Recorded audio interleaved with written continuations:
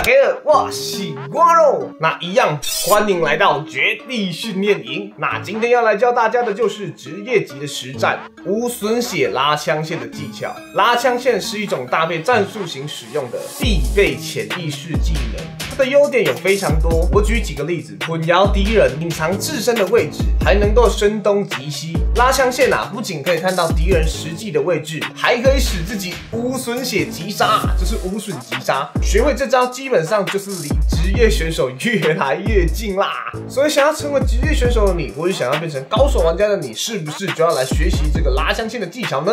那今天我们也请来了神秘嘉宾，就是我们的七 Q 战队 AHQ，他就是 AHQ 的金红啊。那一样话不多说，继续看下去喽，Let's go！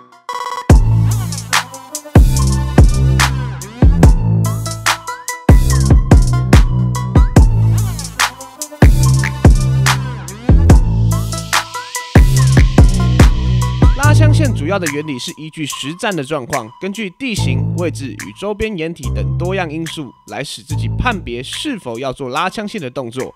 可以把拉枪线说成一个战术，也可以把拉枪线定义为战术中的元素。有请职业选手金红来帮我们解说这项技术。Hello，大家好，我是 HQ 的金红，我在队伍担任的是指挥、边线、箭头。我即将在 PNPL S 二赛季出征。好嘞，今天来教大家如何拉枪线。首先拿起我们的手机，打开绝地求生 M。好，我来跟大家介绍一下如何去拉枪线。首先，你要先发现敌人的位置。好，我们看到一个人在这里，对不对？那这个时候呢，你要怎么拉枪线？首先你要先观察左边的地形，还有右边的地形。好，左边的地形经过判断之后，你觉得走过去你也打不到他的侧脑，因为你看不到他的整个侧脑，就是侧身的部分。所以我选择往右拉。然后往右拉这边有很多的掩体跟反坡，所以你在移动的时候呢，它会找不到你的位置，它并不知道你换位置的。所以这时候你往右拉，这时候到达一个位置的时候，你一开镜就是敌人的侧脑了，你可以直接把它给秒杀掉。这个就是拉枪线的原理。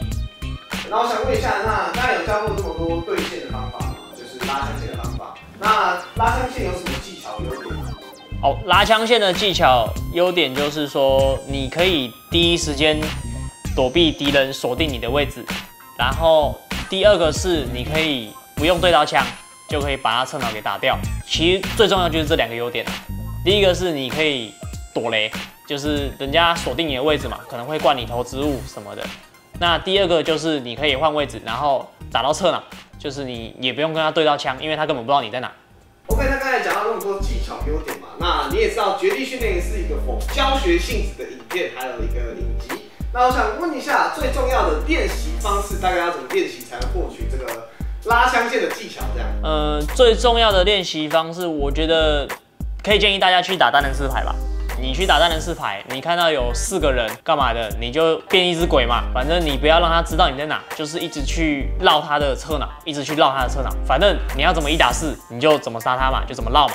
反正你永远都不会有跟他们对到枪的机会，你就把他们干死了。所以练习的方式其实比较否判断面的。呃，对你只要多练，就是多去打单人四排，多去练。那相对的，如果你走错了，其实自己马上就可以感觉到。好，如果说你今天失误了，你你绕错地方了，你就会变成所谓的干拉，然后就被人家给杀了，就会像画面中这个样子。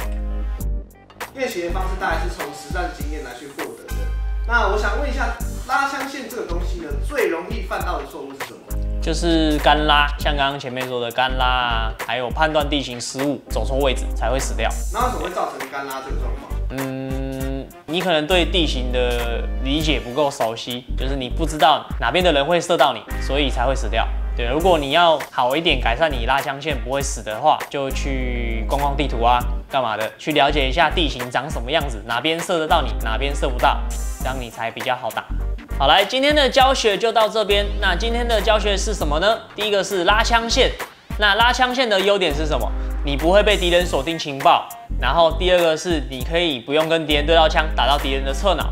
那它的缺点是什么？缺点是你如果对地形不熟，那么你可能需要花很多的时间去了解一下地形，才不会造成干拉。好，喜欢我的朋友们，欢迎到脸书搜寻 HQ Home，还有 HQ 的战队粉砖来关注有关资讯。那么每个礼拜天我都会在我的粉砖直播。那么谢谢大家对我的支持，我们下次见，再见。